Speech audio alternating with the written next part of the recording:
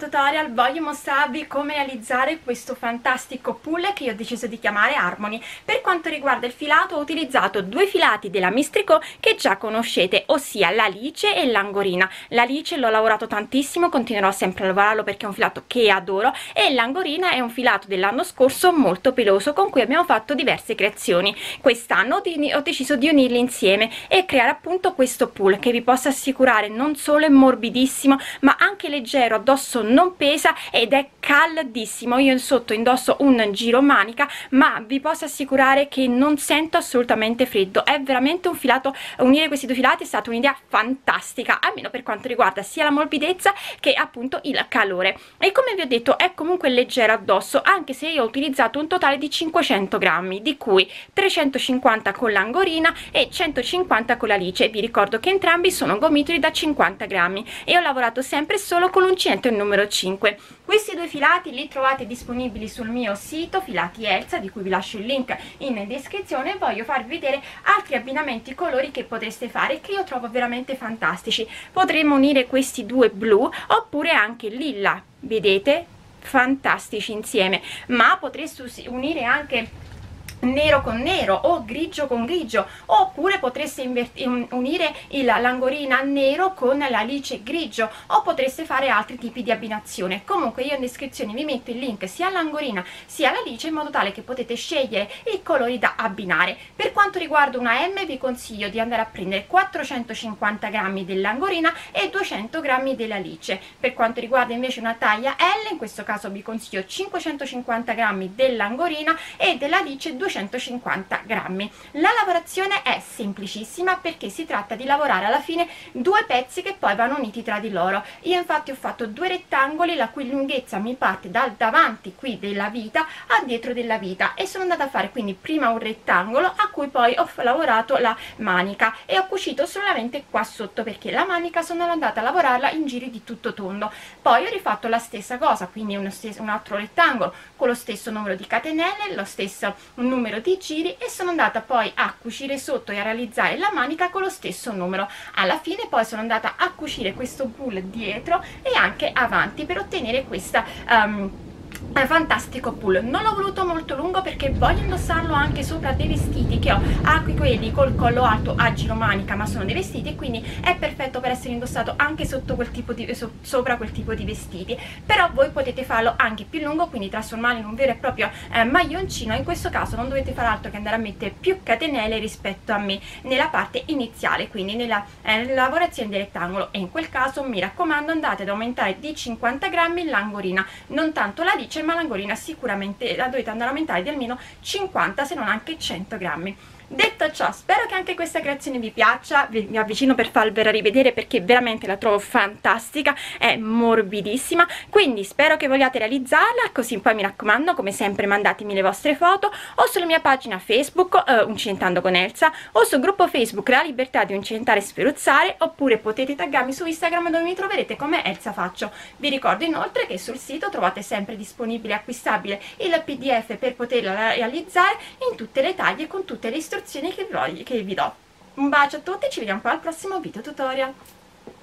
Per poter realizzare il nostro pull io ho deciso di uh, utilizzare due filati lavorandoli contemporaneamente che sono l'angorina e l'alice entrambi i filati sono della mistrico filati e io ho unito insieme il colore 5 al colore uh, numero 7 quindi 5 dell'angorina 7 dell'alice voglio farvi vedere altri possibili abbinamenti colori che potete fare come questo che ha come eh, colore il blu o altrimenti potete optare per il viola o il lilla se, eh, viola eh, se vi piace. Vedete mettendo quindi insieme questi colori ma potete abbinarne anche diversi perché tipo sul sito troverete anche il colore come il nero come il grigio eh, o anche colori da abbinare come un blu eh, come questo però ad un ottanio se volete che eh, si veda di più il contrasto tra i due filati io invece ho deciso di lavorare tono sul tono però per iniziare a farvi vedere come andare a realizzare questo pull utilizzerò un altro filato perché voglio che almeno l'inizio della lavorazione si veda bene. Anche se vi dico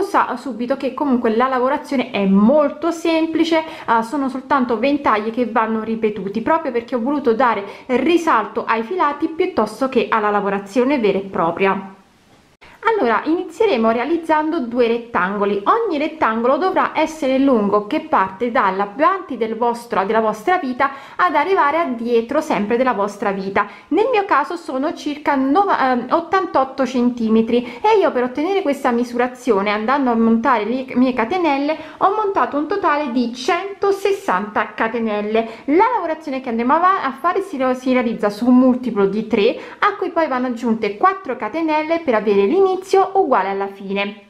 Io montando 160 catenelle vi dico già che avrò un totale di 40 uh, ventaglietti mh, mm, mentre nel campione ne avrò di meno. Però ripeto io lavorerò con l'uncinetto del numero 5 lavorando in due, insieme ai due filati ho montato 160 catenelle. La lavorazione che andiamo a fare si ottiene su un multiplo di 3 a cui vanno aggiunte 4 catenelle per avere l'inizio uguale alla fine. E quindi misurate eh, dalla vita uh, sul davanti alla vita dietro quanti centimetri vi occorrono. Vi dico subito che naturalmente se siete una taglia S ma avete più seno rispetto a me sicuramente dovrete andare a mettere almeno io direi uh, 4 motivi in più in modo tale che quindi la lavorazione non penda troppo sul, um, sul davanti ossia non si alzi troppo. Uh, le taglie più grandi quindi considerate io vi dico che per una taglia M dovreste mettere almeno uh, diciamo 8 motivi in più uh, però calcolate attentamente la vostra lunghezza in modo tale da capire bene quanti um, catenelle andare a montare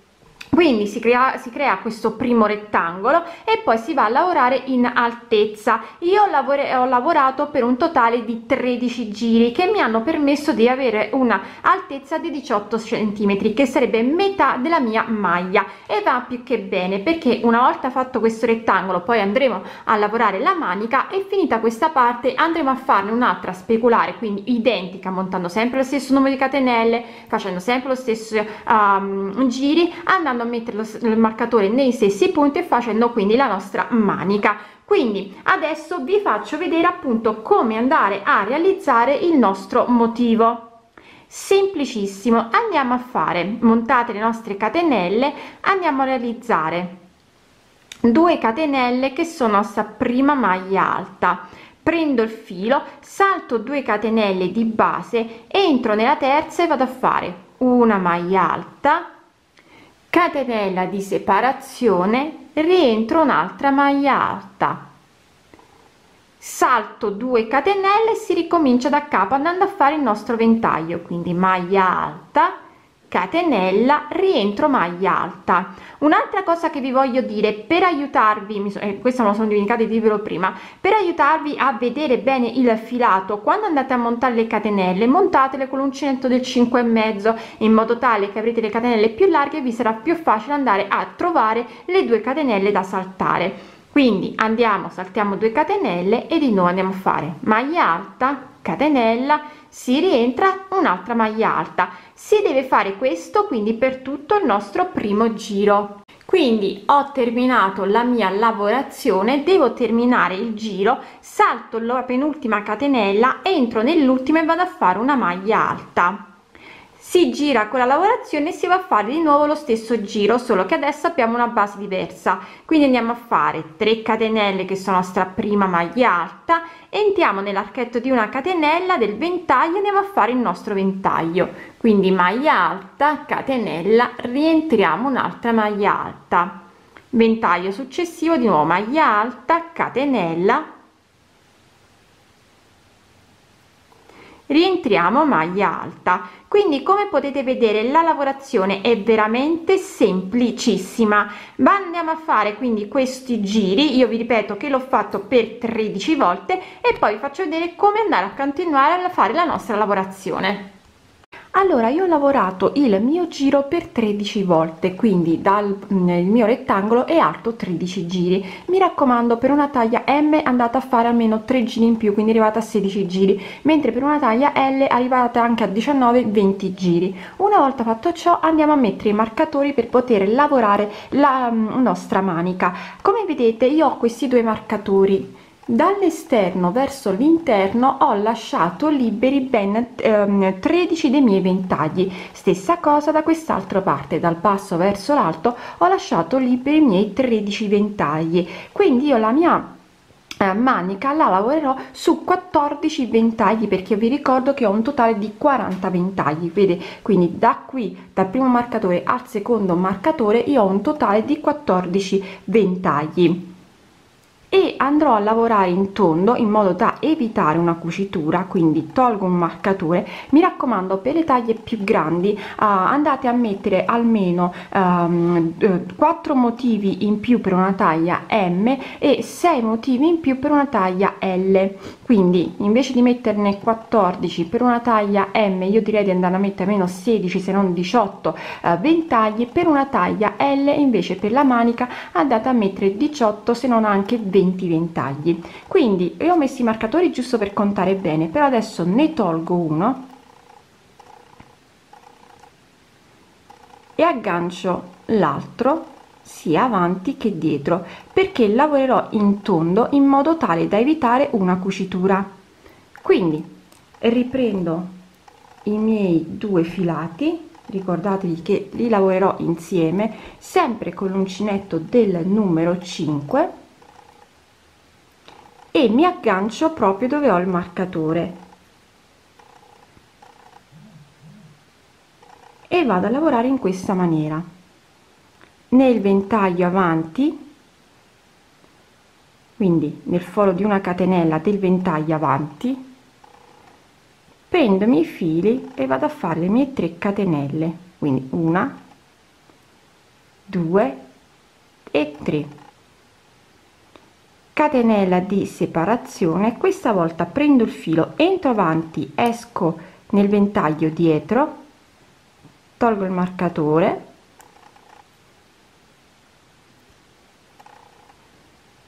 e vado a fare una maglia alta.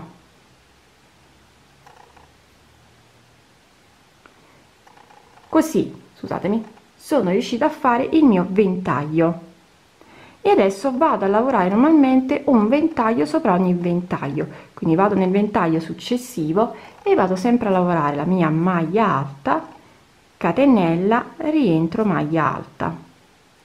Ventaglio successivo di nuovo maglia alta ventaglio rientro un'altra maglia alta lavorerò in tondo e naturalmente alla fine vi farò sapere quanti giri sono andata a ripetere. Ora continuo a lavorare intorno sulle mie in tondo sulle mie 14 ventagli. Vi farò vedere come chiudere il giro e iniziare di nuovo poi sempre il solito giro. Quindi non cambia niente della lavorazione solo che invece di lavorare in giri di andata e ritorno dove facevamo la maglia alta finale ed iniziale adesso lavoreremo sempre solo con i nostri ventagli quindi sto per terminare il mio giro entro dove ho la terza catenella e vado a fare una maglia bassissima. Vado all'interno dell'archetto di una catenella del ventaglio faccio una maglia bassissima ed inizio a fare il mio ventaglio. Quindi 3 catenelle che sono questa prima maglia alta una maglia alta di una catenella di separazione rientro un'altra maglia alta. E di nuovo poi andiamo a lavorare i nostri ventagli uno in ogni ventaglio del giro precedente. Benissimo quindi adesso continuo così e alla fine vi faccio sapere quante volte sono andata a ripetere questo giro terminato di realizzare la manica ho fatto un totale di 31 giri quindi dallo scalfo da quando abbiamo iniziato a lavorare in tondo fino alla fine ho fatto 31 giri. Una volta fatto ciò sono andata a cucire il mio rettangolo sotto fino ad arrivare appunto dove ho iniziato la manica quindi da sotto a sopra. Adesso andrò a fare un altro rettangolo quindi rimonterò i miei ventagli un totale di 40 più le due maglie alte una alla fine una all'inizio. Andrò a fare fare i miei 13 giri di nuovo metterò i marcatori farò 31 giri per la manica. Quindi farò un rettangolo uguale che poi metteremo da quest'altro lato ed ecco qui anche il secondo rettangolo. Stessa cosa ho fatto sempre lo stesso numero di catenelle stessi giri 13 per la, il rettangolo 31 per la manica e poi sono andata a cucire sotto qui sempre con i due fili dal basso verso l'alto per punto chiudere il mio golfino sotto. Adesso devo andare a cucire la parte dietro quindi unirò da qui a qui e la parte avanti da qui a qui. Volevo farlo aperto però penso di più che lo farò chiuso chiuso. Deciderò diciamo comunque alla fine. Adesso andrò a cucire de, uh, qui dietro. Non so ancora per quanti centimetri ma vi farò sapere. Per cucire andremo sempre a lavorare con i due filati entreremo sempre da una parte all'altra. Quindi solita cucitura molto semplice molto facile allora alla fine ho cucito sia avanti che dietro. Ho cucito per circa 25 centimetri avanti e 33 centimetri dietro quindi dietro cucito di più in modo che davanti resti più um, aperto. Allora non farò alcun tipo di bordino pensavo di fare un um, giro di maglie basse sotto ma in realtà mi piace che vada a largo quindi il nostro golfino è terminato